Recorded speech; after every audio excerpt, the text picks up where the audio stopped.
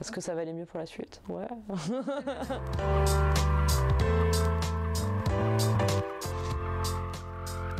C'est Morgane Lebouteux. Mon métier, c'est euh, chargé de projet de l'association Médusine. Donc, euh, ça comprend la production d'événements, côté euh, chargé de prod, organisation, côté programmation. Et puis après, un peu recevoir les projets et puis voir qu'est-ce qu'on peut gérer et voir avec qui on va travailler sur ce genre de projet. Alors, donc l'association, je l'ai fondée en 2018. Avec, on a fait un premier événement, c'était fin 2018. Le but, c'était vraiment de, bah, promouvoir l'égalité dans le secteur culturel. Donc, dans ce sens-là, de mettre en avant bah, des, personnes qu'on voit moins sur le devant de la scène. On est plus euh, axé sur, euh, sur un versant hip-hop, sur euh, tout ce qui est culture hip-hop. Donc, on va plus parler rap aussi, euh, bah, parce qu'on fait aussi de la médiation culturelle avec des jeunes et c'est ce qui va le plus parler. Et pour nous, c'est quelque chose où c'est plus simple de s'exprimer, on trouve. Aussi de la promotion de la scène locale. Donc, l'idée, c'est un peu d'être un, soutien pour les artistes émergents, euh, pouvoir aussi les mettre en relation euh, bah, selon leurs besoins. Et puis là, bah, petit à petit, on, aussi, on, développe aussi un aspect booking, euh, donc euh, voilà, pour aller toujours un peu plus loin dans l'accompagnement, on va dire. Donc voilà, on est basé à Bordeaux et puis on commence un peu petit à petit aussi à créer des, pans avec d'autres villes.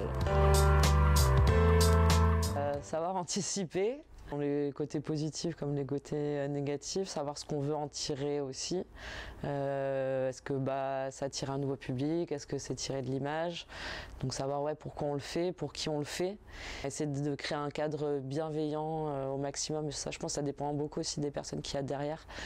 Enfin, je trouve qu'on retrouve beaucoup l'ADN des organisateurs au final dans les événements. Quoi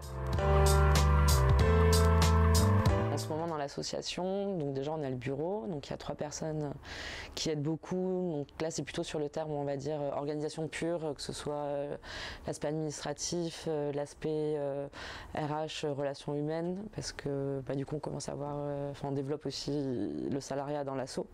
Donc c'est important aussi de gérer ça. Et après à temps plein on va dire on est, on est trois personnes. Donc on a une apprentie désormais, la chargée de com et moi-même. Et après, bah voilà, donc on accueille des stagiaires là comme actuellement. Et puis bah, il y a plusieurs personnes qui vont venir donner des coups de main. Donc on a à peu près on va dire une dizaine d'actifs euh, dans l'association.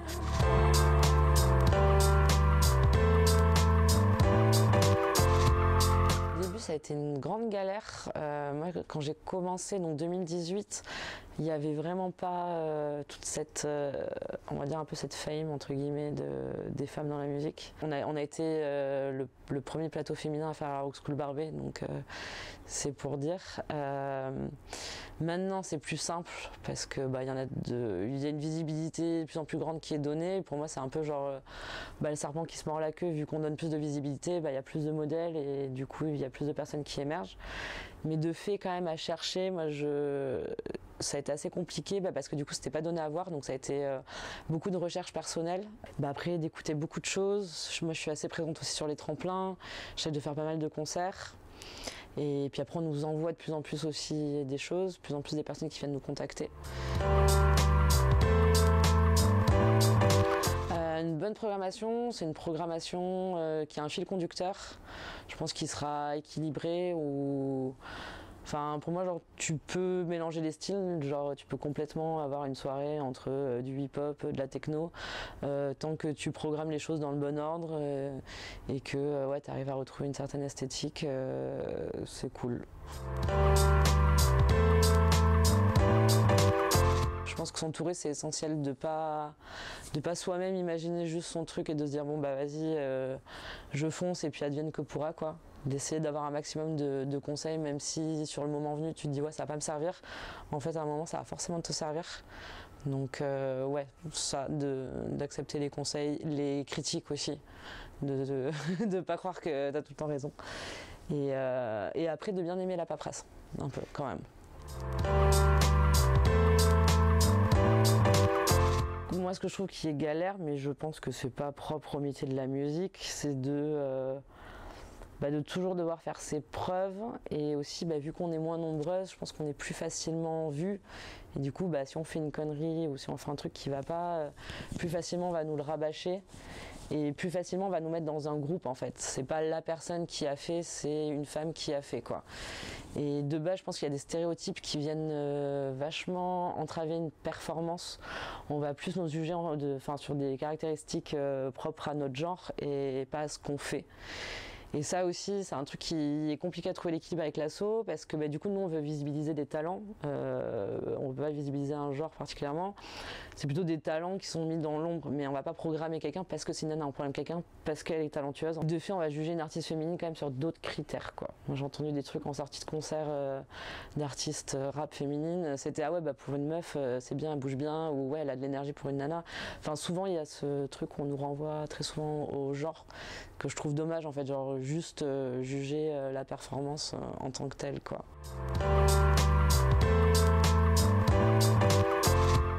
Déjà, je pense que maintenant c'est rassurant de, bah, de voir qu'on n'est pas toute seule. Je pense que c'est bien aussi de faire jouer la sororité. Enfin, pour avoir fait plusieurs euh, tremplins, euh, j'avais été là sur le tremplin qui s'appelle Rappeuse. Et c'était super bien parce qu'il y avait bah, 10 rappeuses.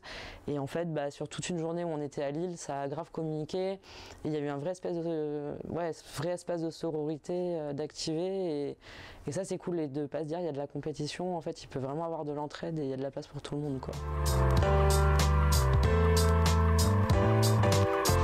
Donc la médiation culturelle, moi c'est un truc que je voulais faire depuis, bah, depuis la création de l'assaut. Du coup on, avait on a eu un groupe de jeunes euh, de 13 à 17 ans qu'on a suivi euh, bah, pendant un petit moment au final parce que bah, Covid du coup on a eu grave de report.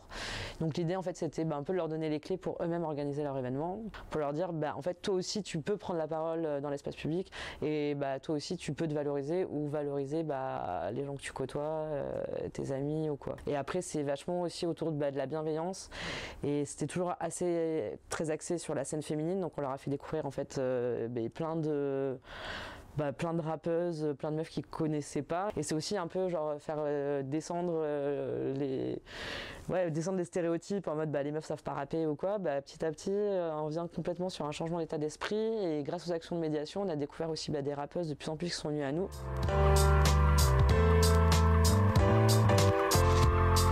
Ouais, grave. projet Booking. Euh, on est de plus en plus euh, de DJ dans l'assaut. Donc euh, on a déjà commencé à développer ça avec le central, faire des soirées, on va développer ça aussi avec d'autres lieux, faire des soirées mensuelles vraiment basées sur le collectif. Un peu le booking aussi sur des artistes live. On, s'occupe de plus en plus d'un artiste qui s'appelle Sopical là qui est en train de de bien marcher. Donc euh, on a envie de créer de plus en plus euh, l'espace euh, l'espace d'échange, d'entraide, en mettant aussi en visibilité bah, des graphistes, des vidéastes, en plus de beatmakers aussi qui, qui se rapprochent de l'assaut, donc ça c'est intéressant. Donc on aimerait bien développer vraiment de la création, voilà, des espaces de création.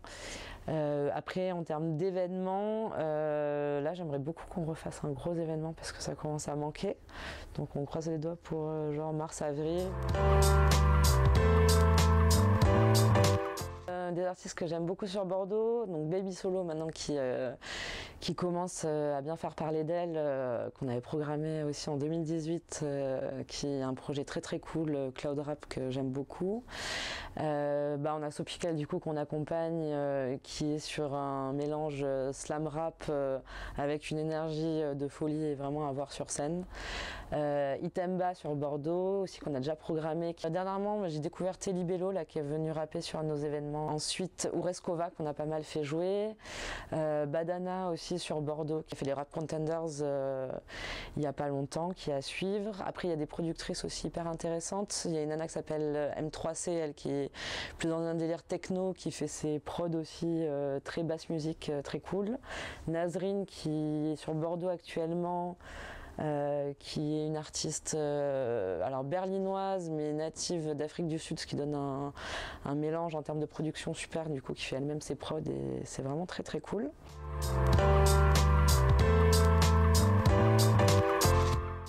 Bah, de pas lâcher, hein. tout simplement. Parce qu'en vrai, quand tu portes un projet, euh, enfin artistique, etc., c'est quand même, euh, ça peut être compliqué. Et du coup, d'avoir des retours positifs, des gens disent non, mais ça fait grave du bien et tout, et des gens motivés aussi autour de soi, bosser avec des gens motivés.